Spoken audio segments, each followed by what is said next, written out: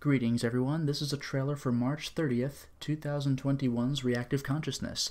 In it, Vice the Bold and I discuss the PlayStation Store, Target, Limited Run Games, Katana Zero, Streets of Rage 4, Nobody Saves the World, Monster Hunter Rise, Legacy of Kain Soul Reaver, Andro Dunos 2, Melty Blood, Koei Tecmo, Super Mario 3D All Stars, Kirby 64, Vitor Vilela, Thus Spoke Rohan Kishibe, Suicide or the Suicide Squad, Eric Andre, Scott Pilgrim, Gorillas, George Segal, Beverly Cleary, and Jessica Walters. If that sounds interesting to you, then please click the link below.